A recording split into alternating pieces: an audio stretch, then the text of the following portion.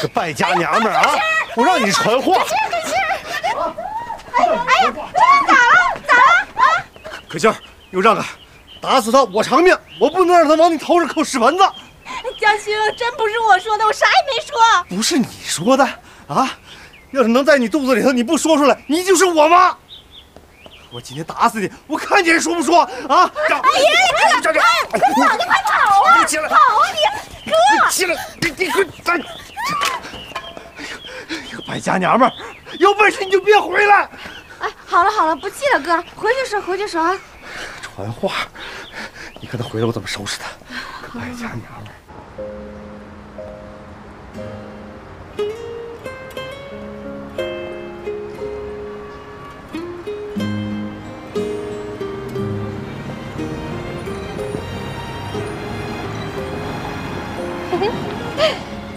哟，新车不错呀，还行吧。下来，我下来干嘛呀？我给你拿文件来了。这是你要的资料，我给你弄好了啊。谢了啊。跟我你还谢什么谢呀？那该有的礼貌还是得有吧。你怎么了？怎么愁眉苦脸的呢？没事儿，你肯定有事儿，你快说。真没事儿。我不是关心你吗？你说呀。就我哥跟可心闹绯闻，我正烦着呢。俊龙哥，俊龙哥不是不近女色的吗？你觉得我像是在跟你开玩笑吗？那，唉那是你哥这么大人了，传绯闻能怎么的？我在意的不是他，是可心。可心，可心是谁呀？可心就是可心。哎，你说我哥刚回村几天，他怎么就不注意自己的影响呢？回村儿，那可心是村里的啊，村姑啊。什么村姑啊？人家可心是单纯的好女孩，单纯的好女孩跟男人传绯闻呢，那都是误会。怎么是误会呢？你真乐观。我说是误会就是误会。你别自欺欺人了，你最好啊再想点什么理由，然后说服你自己哈。哎，什么叫我自欺欺人呢？人家可心根本就干不出来那些事儿。这种事儿我更相信大家雪亮的眼睛。再说无风不起浪，一个巴掌也拍不响。我跟你说，你不许侮辱我女神啊！女神？你什么时候女神了你？女神她也是乡村女神。不是你会聊天吗？啊，你再让我走了。怎么你还生气了？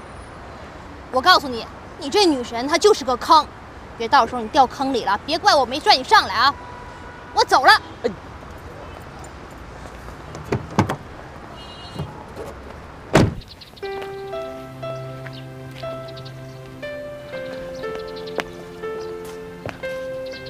心，你怎么在这儿啊？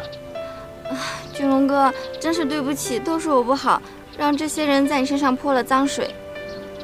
你都知道是脏水，你还在乎他干什么呢？可是毕竟人言可畏啊。你要怪也得怪我，毕竟你是女孩子，对你的名声不好。哎呀这事儿真的怪我，我当时没多想就跑来找你了。其实我也可以打电话跟你说的，可是吧，一是我怕在电话里说不清楚，二是我真挺想见见你的。哎呀，我要是白天来找你就好了。行了，你就别分析了，让那帮人嚼舌头吧，嚼够了也就消停了。可是毕竟你刚上任啊。娱乐明星还讲究用绯闻炒作自己，你就当我是在炒作自己吧，别那么大个压力。我是怕有你真正在乎的人真的误会。相信我的人呢是不会误会的，误会我呢都是不相信我的，我在乎他干什么呢？金龙哥，你这么想真是太好了。但是话又说回来，他们是靠说闲话解闷，我倒无所谓。可是对你这个女孩子影响就不太好了呀，所以咱们还是注意一下影响，好不好？金龙哥，你怕了？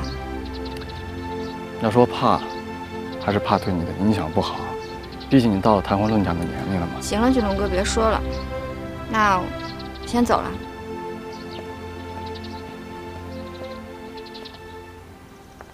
美美，快点，快穿鞋，妈来不及了啊！快，穿好了没有？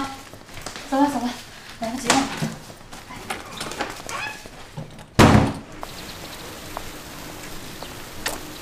妈妈，我的水杯呢？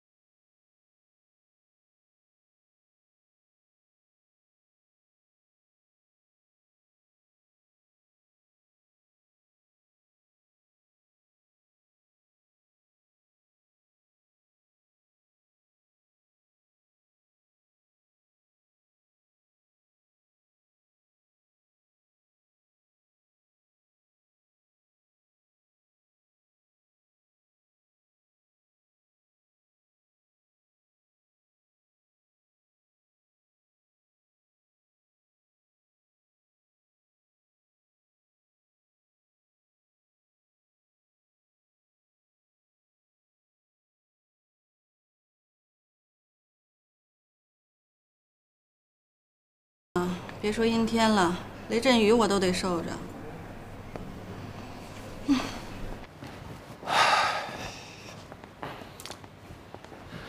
姐，怎么办呢？啥玩意儿就怎么办呀？你这大早上起来不是出去办事了吗？怎么又回来了？我觉得朱二说的挺有道理的，弄得我这心里乱乱的。朱二说话你能信吗？我正因为不信，我才过来问你啊！哎哎，姐，别忙了，别忙了，过来坐，我问你点事儿。来，你跟可心关系不错，你跟我说个实话，可心跟我哥到底有没有那么一点意思？啥意思啊？姐呀，我都说成这样了，你就不明白我的意思吗？但你对可心的事儿怎么那么上心啊？我的姐，你就跟我说一句吧，我跟可心到底有没有戏？哎呀，妈！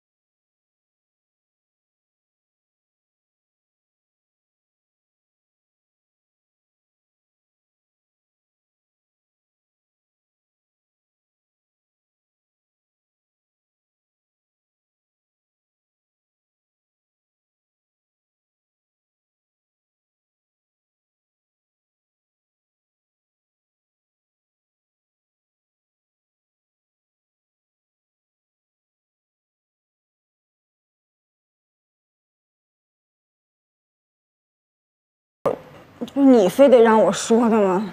那我也得实话实说呀，是不是？哎，不过老弟啊，你也别灰心，你还是有你的优势的呀。我还有优势？你当然有优势了。你看我老弟这张小脸长得俊俏，是吧？你看为人处事又重朋友义气，在这咋还缺点啥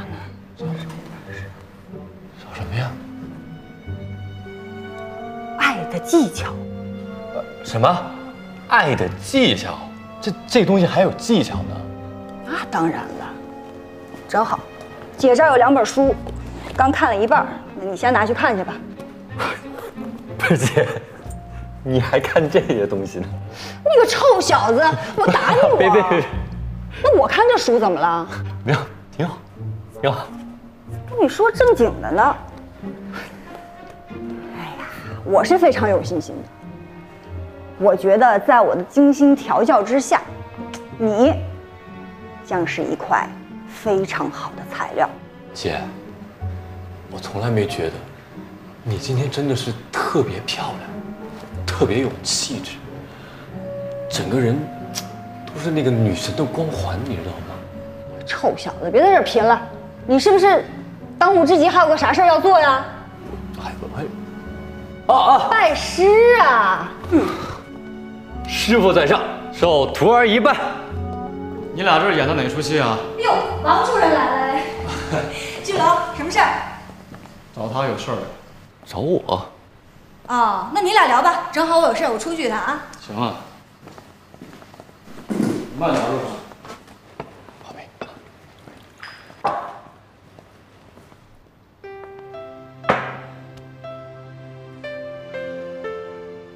叫你回村来找我，手机也不开机，非要让我这儿来找你啊？不是你看什么呢？眼神那个样子，有不一样吗？有啥不一样？啊，呃，早上回上河村来着。你都回上河村了，还不回家来找我？哦，我知道了。刚进村就听到我的闲言碎语了，是吧？还真有这些事儿啊？有哪些事儿啊？你听那些女人瞎胡咧咧。哎哥，你是不是大晚上的真把可心给领出去了？不是你想的那样的，是可心主动来找我。可心主动找你也不行啊！你是不知道村里那些人嘴巴有多大吗？你名声本来就不咋地了，再坏点也无所谓。但人家可心是好女孩，你让人家怎么办？什么叫早就不咋地了？我咋地了？你说咋地了？人家结婚，你跑去抢婚；人家现在寡妇了，你跟着回村。行了，我一直把可心当亲妹妹看待，我也早就把这事儿跟她说清楚了。你要真把她当亲妹妹看，你就应该注意一下你自己的影响，不要让这个牵肠那个挂肚的。你觉得好玩吗？你笑什么呀？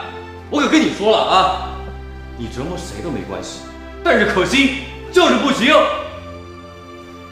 你还让你姐给你保守秘密，你看你那直肠子，连点弯弯都没有。是，我哪有您多呀？好了，是哥比较粗心。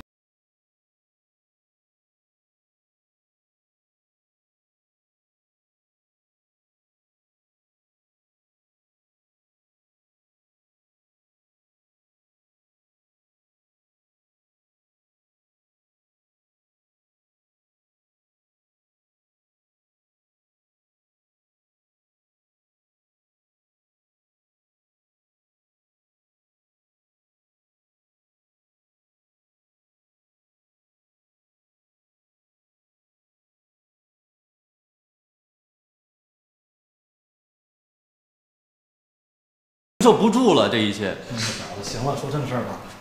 嗨，我跟你瞎聊，我把正事儿都给忘了啊！事情我已经调查过了，是上河村工程队偷工减料，给咱们公司造成了非常大的损失。真是运晨他们干的，要不然呢？您这边还特别相信他们，还准备带着他们致富。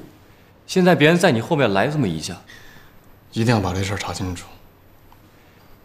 我已经找律师了，准备起诉他们。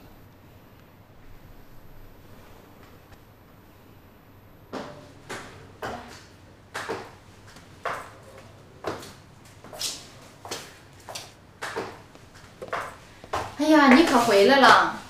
怎么了，大姐？你说怎么了？你你看看，你看看，哎呦，哎呦我我今天走太急了，我我我给忘了。您替我在这守了一天啊！我不帮您看着，这外边进来人怎么办？哎呦，哎呦，实在太感谢您了。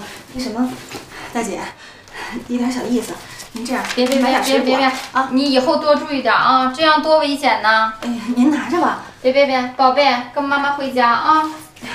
那谢谢您啊。谢谢阿姨。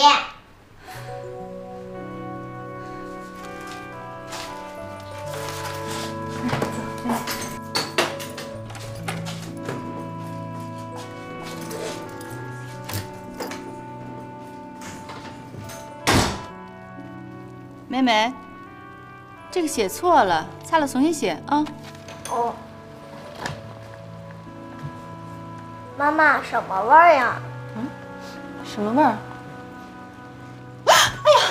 我的菜！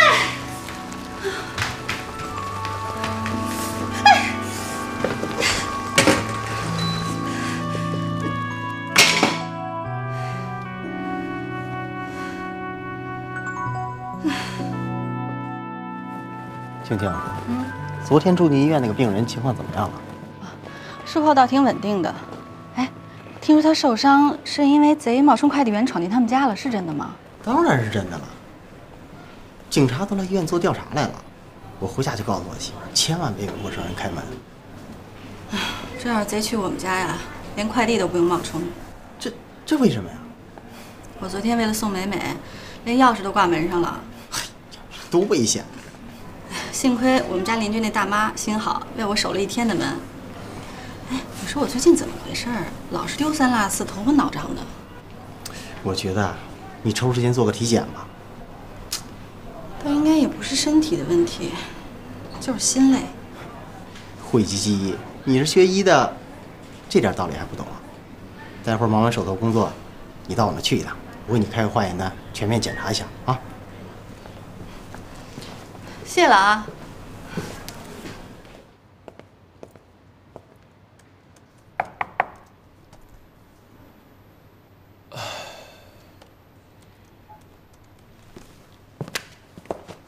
哟，这么深沉呢？没有，想事儿呢。是不是还因为你那女神心烦呢？怎么可能？我哥都跟我说了，那是个误会。那不还是让我说对了吗？你那女神就是个坑。说吧，让我来干嘛？是这样啊，小倩，是我脾气不好，你就别往心里去，大人不计小人过，行吗？不行，哎你看咱们哥们儿一场，你就你看我用几个词形容，我觉得特别合适，高端大气上档次，还有呢？低调神秘有内涵。行了，你别编了你。我要是真跟你一般见识啊，早跟你绝交八百回了。我就知道你够意思。我原谅你啊。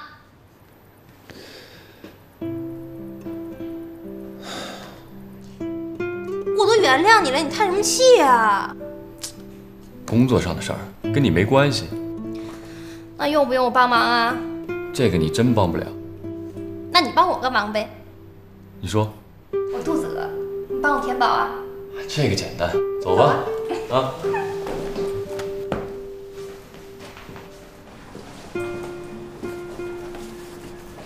还行，没什么大事儿。你看，我说没事儿吧？我说没什么大事儿，我可没说没什么事儿啊。哎，李导，你可别欺负我是护士啊！我怎么说也是护士战线工作了十几年的人，化验单我还是看得懂的。化验单你是看得懂啊，可是就你现在这种症状，这是典型的肝郁，更年期提前了吧？你才更年期呢！听我的，回去吃点舒肝丸啊。有没有舒心丸啊？我这心里倒是挺憋屈的。哎，说真的，哪天让我们家老郝也来体检体检吧？他有日子没体检了。我每次跟他说吧，他就说没时间，没病不上医院。你看看，我说的没错吧？平时对人家怨声载道的，这一有事儿还是想着人家。他要像你这么想就好了。我都两三天没见着他了。老郝不回家呀？回了，每次回家都半夜了，我跟孩子都睡了，第二天一大早就走了。没准他一宿没回来呢。回是肯定回了，我每天晚上做那夜宵，他都吃个精光。你看看，我说的没错吧？刀子嘴豆腐心。哎，下班有时间一起吃个饭吧？干嘛呀？为什么？这不是我老婆出差了，我又不会做饭，只能外边吃了，多双筷子的事儿。哎，可不是多一双，我们可是俩人。行，你说几双就几双，下班见啊。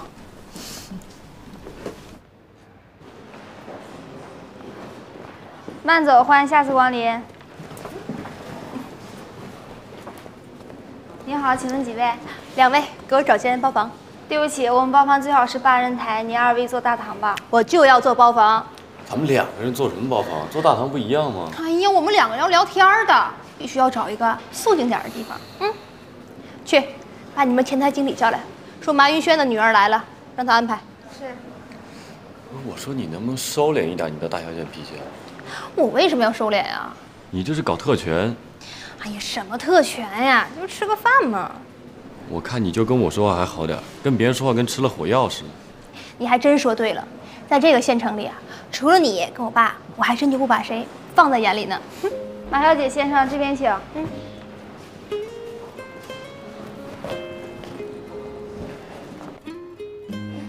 先生，您的菜上齐了，请慢用。嗯。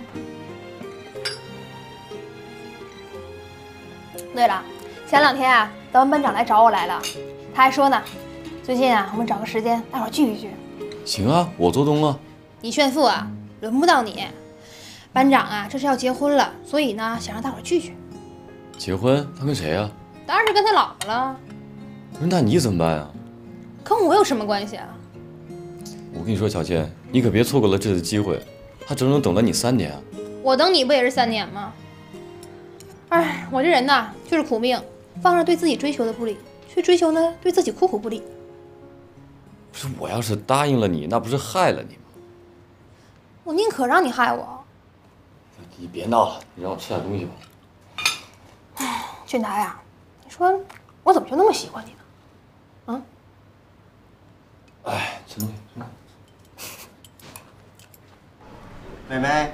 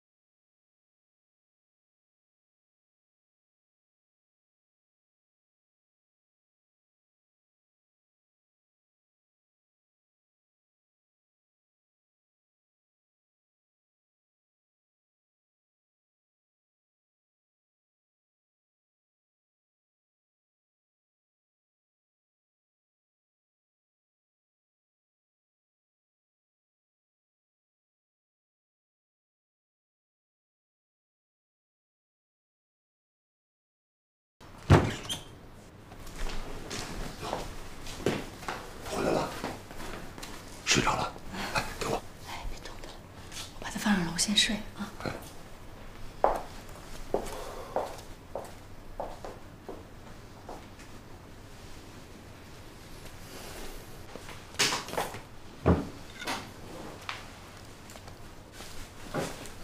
今天，今天玩的开心吗？开心，跟好朋友在一块儿能不开心吗？我怎么听着话里有话呢，朋友就朋友呗，还好朋友。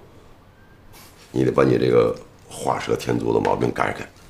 行了，你别咬文嚼字儿了，我说什么你都能挑出毛病来。不是本来你这话里就是有毛病啊，非要好朋友，难道你郭青青会跟坏朋友在一起啊？嗯，行了行了，你少说两句吧。我一回来就呜噜哇啦一堆废话。老婆，还记得今天什么日子吗？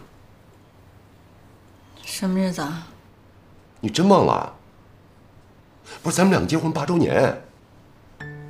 不是你说我，我早早的下了班，我回来赶紧做几个菜，想咱们一家三口好好聚聚。结果你哎呀说呢，这菜做的不错呀，难得啊，我一年都没尝着你的手艺了。行了，别挖苦我了。哎呀，我想你们娘俩肯定是酒足饭饱回来的，我也没吃饭，我得赶紧吃点，要不然对不起我自己的胃了。你还别说啊，我这个烂胃啊，还真是添了不少的麻烦。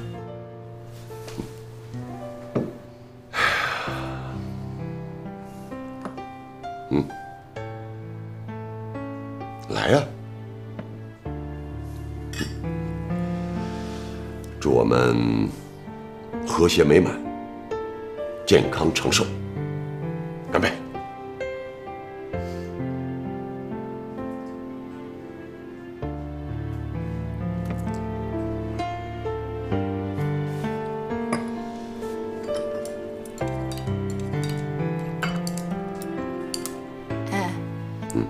真不想知道我今天跟谁在一起？哎呀你跟谁在一起不重要，只要你开心就足够了。你不怕我红杏出墙啊？啊？你要红杏出墙啊？不是，你是不吃醋啊，还是不在乎啊？老婆，吃醋和在乎是两码事儿。虚伪，你现在越来越虚伪。你不会觉得这是美德吧？我现在对你这种虚伪的宽容和忍让已经忍无可忍了。别发火，别发火。我给你倒杯开水，消消气，消消气啊。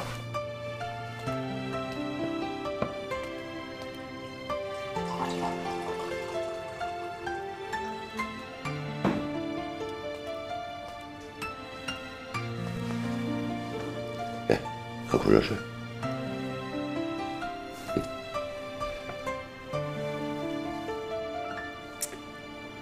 哎，郝志红，嗯，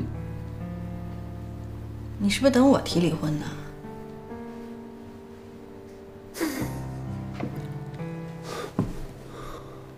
你笑什么呀？我没笑什么，那我说的有那么可笑吗？不是说你可笑，我是觉着我自己可笑。你自己我不是一个合格的丈夫，合格的父亲。我把大量的时间精力都用在了工作上，对你们母女照顾不够，尤其是对你照顾不够。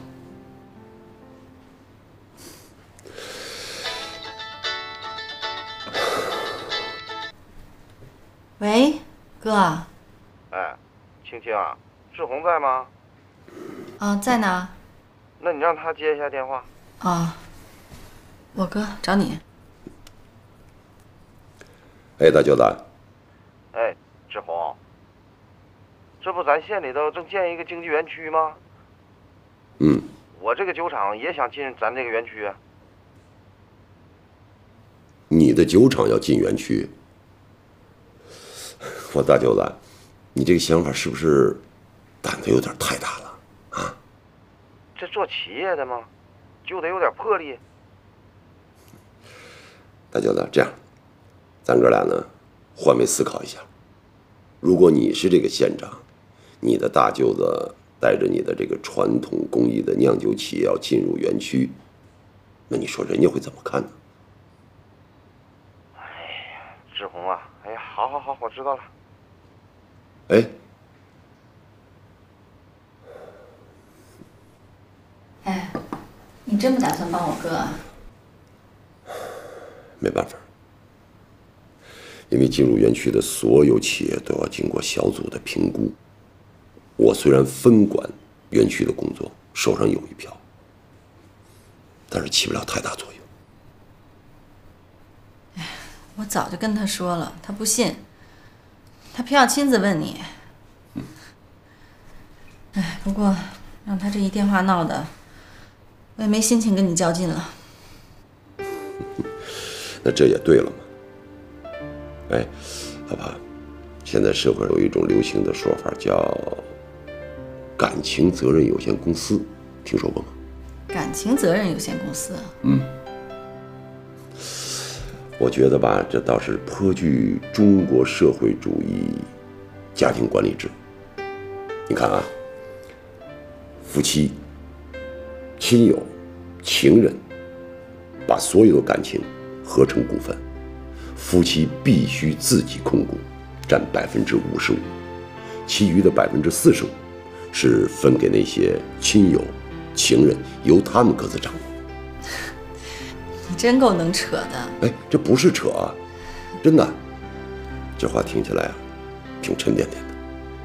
现在有句话说，爱情必须不断的实时更新，创造发展，否则夫妻就会失去控股的地位，而那些小股东在感情的竞争当中就会不断的增股，以至于绝对的控股。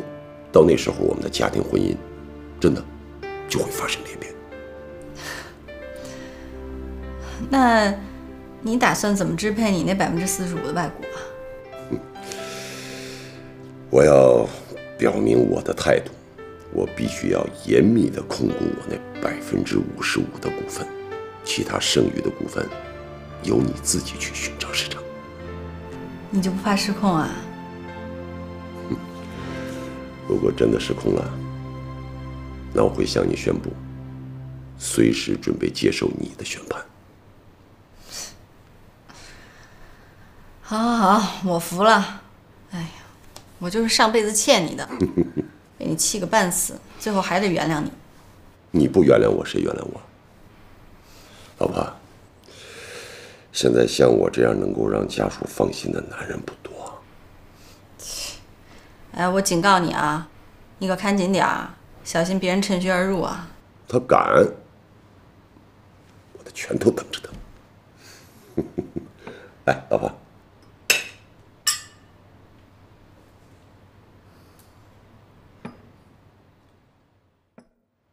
琼姨，那村里就这样，人多嘴杂的，说的都是捕风捉影的事儿。俊平姐，你放心，我了解俊龙的为人。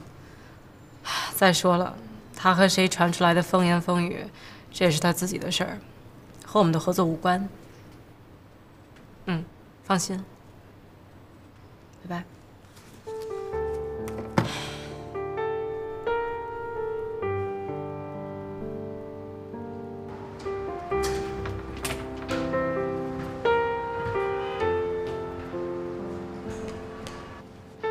不好意思，让您等了这么久。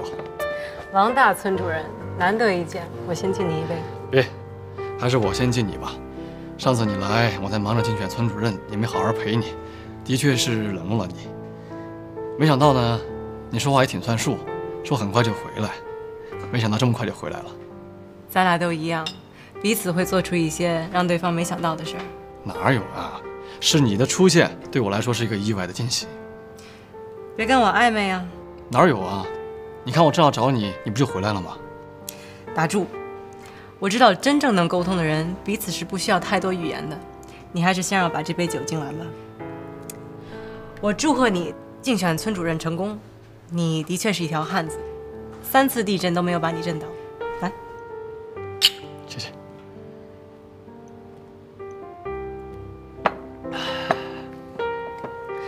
小英啊。我也特别纳闷儿，你怎么会预测得到呢？我后来数了一下，确实有三个特别难攻克的山头。可是你还是攻下来了。秋英，这次我着急叫你回来呢，是想带着你到上河村到处转转。王俊龙同学，咱俩认识不是一年两年了啊？你的小心计我早就看出来了。我哪有什么心计啊？你怎么可能让我白赚？你早就有自己的小算盘了。你是做生意的，这种投资方面的事儿不会不感兴趣啊？话既然说到这儿，我不妨跟你说清楚。你怎么突然这么严肃啊？我生活当中和工作的时候判若两人，不知道吗？好，那，吴总，请讲吧。当初经济园区的项目，我和你刚签了合同，你就把这么大的一个项目交给你弟弟自己去竞选村主任了。当然，你有你的理由，你不能违背你对郝运辉的承诺。如果你不是那么健忘的话，那我们签的合同是不是承诺？如果你对郝运辉的诺言需要遵守，那为什么对我和我们公司的诺言就不需要遵守了呢？对于我来说，无论是从朋友的角度，还是从合作方的角度来考虑，你做的都很不负责任。还有，你把公司交给你弟弟王俊达，他会如何执行这个项目？我不适合对王俊达的能力做出我自己臆想性的判断。我打一个不恰当的比方，你王俊龙先生和一位自己心仪的女孩子领证结婚。但当你入了洞房时，你却发现新娘换人了，你会作何感想？按理说，我们虽然签了合同，但在这么大的问题上，在双方还没有达成共识之前，你总经理就擅离继位，这已经属于擅自违约，合同是可以随时叫停的，并且你们还要付一笔不小数额的违约金。不是，吴总，你不会是跟我毁约吧？咱俩不商量好了继续合作下去吗？王大村主任，你先别急。我现在就告诉你 DPD 的最新研究结果。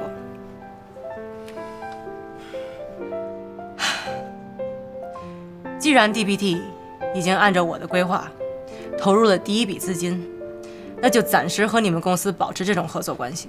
但是，因为你们的违约在先，我们随时保留着终止合同的权利。一旦发现贵公司的工程质量达不到我们的工作要求，会立刻停止付款，并且追究你们法律上的责任。好，好，好，没问题。你的所有要求我都答应，但是我相信我们公司的能力不会让你们失望的。但愿吧。我明天一早航班离开。干嘛这么快就走啊？我这次的目的地是哈尔滨，来这儿只是稍作停留。你去明天就走？那边有一个不错的项目，我去看看。那明天我让俊平送送你吧，我也没什么好送你的。我就送你一张纸，当做纪念吧。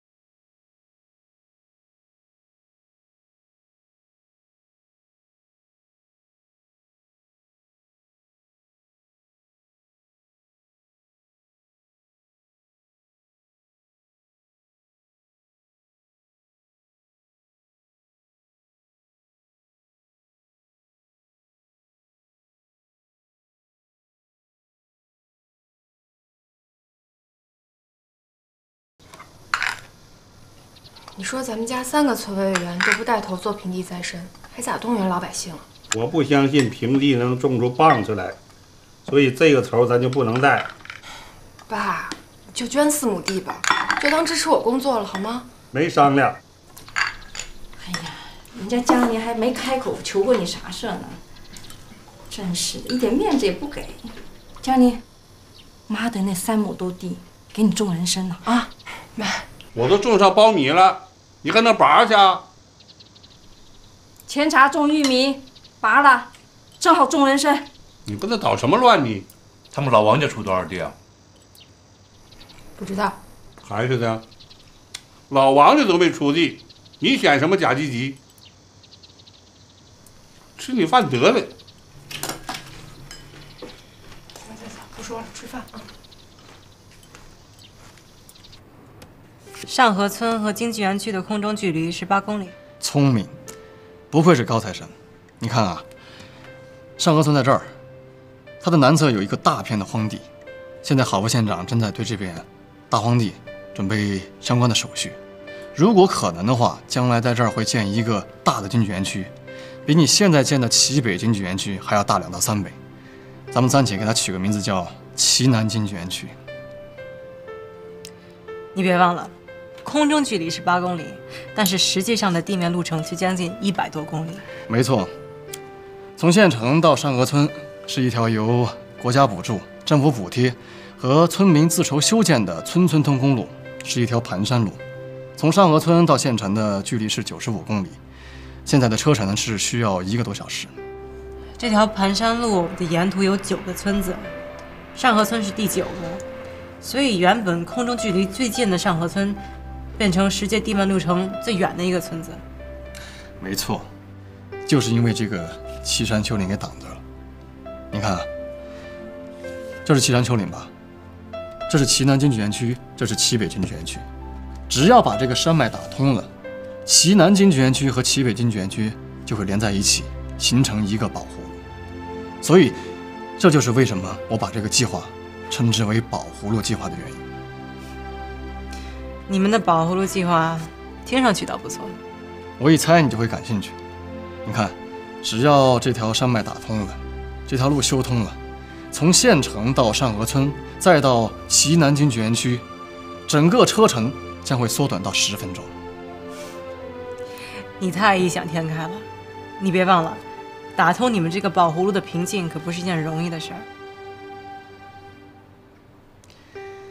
所以，你现在应该明白了，我回村是有相当大的野心的，而且我也有这个责任和这个能力，将这个野心变成现实。